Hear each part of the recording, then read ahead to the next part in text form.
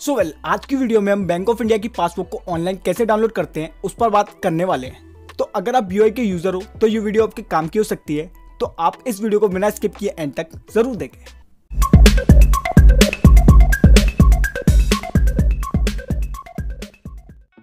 तो फ्रेंड्स आपको Bank of India की पासबुक ऐसे ही कहीं नहीं मिल जाएगी।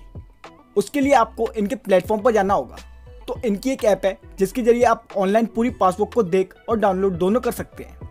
तो एप्लीकेशन को इंस्टॉल करने के लिए आप प्ले स्टोर को ओपन करें। और इधर टाइप करें बी मोबाइल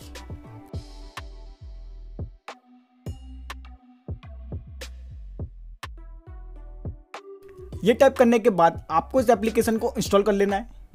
बी की यही एक ऐप है, जो काम की है। इस ऐप के ज़रिए आप कई सारी चीज़ें कर सकते हैं।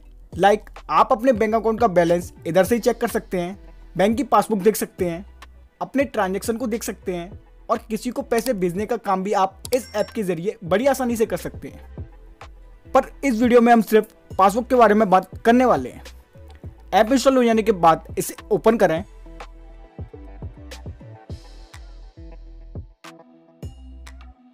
फिर आपको कुछ इस तरीके का पेज होगा। तो सबसे पहले अगर आपका इधर अकाउंट नहीं है तो आप एक अकाउंट क्रिएट कर लें। इस ऐप पर अकाउंट बनाने का प्रोसेस तो इस वीडियो में मैं बताने वाला नहीं हूँ, क्योंकि वीडियो लंबी हो जाएगी।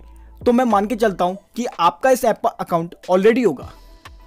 तो इधर पहले बॉक्स में आप मोबाइल नंबर यूज़र आईडी या कस्टमर आईडी तीनों में से कुछ भी एंटर करें। नीचे आप लॉगिन पिन डालकर लॉगिन पर क्लिक करें। क्लिक करते ही आप इस ऐप पर लॉगिन हो जाएँगे और कुछ इस तरीके के पेज पर आ जाएँगे। तो पासबुक को देखने के लिए आप इधर एम पासबुक पर क्लिक करें, इधर अकाउंट सेलेक्ट कर लें और उसके बाद इधर आप डेट को सेट कर लें कि किस डेट से किस डेट तक की ट्रांजेक्शन को आप देखना चाहते हैं। इधर आप simply last month last three month last six month और लास्ट वन ईयर की ट्रांजेक्शन को बड़ी आसानी से देख सकते हैं।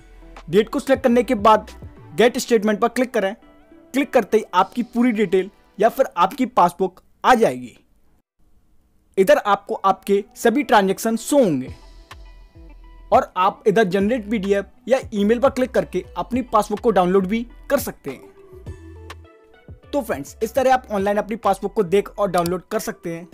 अगर वीडियो थोड़ी सी भी इंफॉर्मेटिव लगी हो तो वीडियो को एक लाइक करें, चैनल पर नए तो सब्सक्राइब करें। और अगर आपको कुछ डाउट है तो उसके लिए आप कमेंट कर सकते हैं।